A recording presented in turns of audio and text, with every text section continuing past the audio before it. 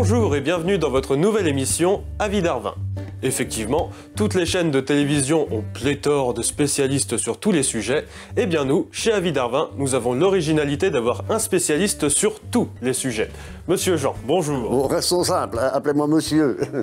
Eh bien monsieur, vous êtes aussi bien politologue que sociologue, anthropologue, ethnologue. œnologue, œnologue.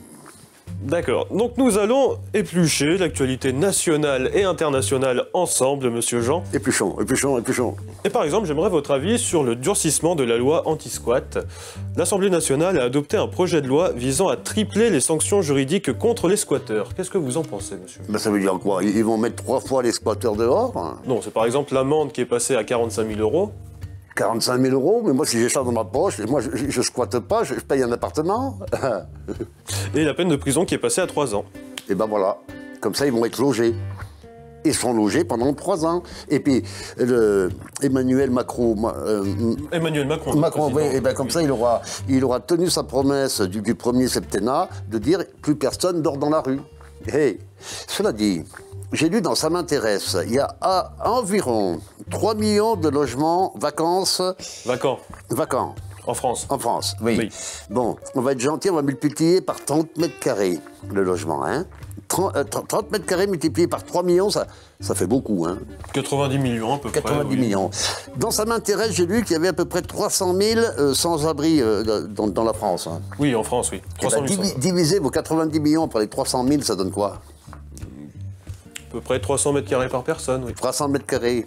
Et bah à ce prix-là, mais enfin, avec 300 mètres carrés, Oui. non seulement tu te loges, tu peux faire une étable et une grange. En plus, allons, allons, Oui. allons. oui. Deuxième actualité, cette fois polémique. Victor. Le prénom de polémique, c'est Victor. Parce que ça fait polémique. Oui, ou pas, je raconterai quelqu'un d'autre.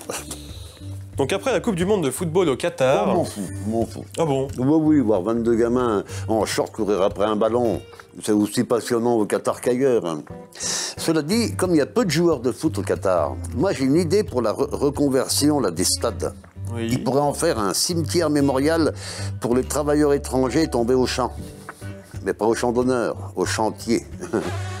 Donc après la Coupe du Monde de football au Qatar, On fout toujours, oui.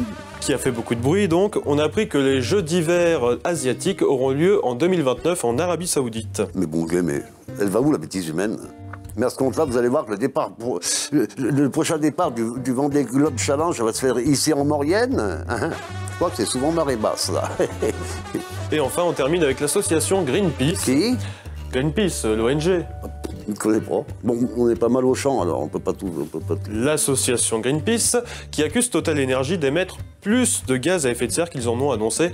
J'imagine que vous êtes sensible à l'environnement, monsieur Jean. Mais Total, ça me dit quelque chose. J'ai un voisin, il est ac- actionnaire chez Total. Ah, Et puis il me dit, euh, oui, oui, vous parlez de nous avec nos carburants, mais vous, votre cul des vaches, il balance plus de méthane dans l'air que, que nous, de, de- de carbone. Je lui dis, oui, mais moi, sauf que mes vaches, quand elles puent, je sais d'où ça vient. C'est ça l'odeur. Et puis mes vaches, à l'inverse de vos actionnaires, là, quand elles pètent, c'est pas dans la soie.